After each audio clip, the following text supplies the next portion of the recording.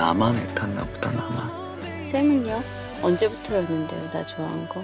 경찰들이 사건을 캐고 있다고 범인 잡으려고. 대체 거기에 왜 딴 거야!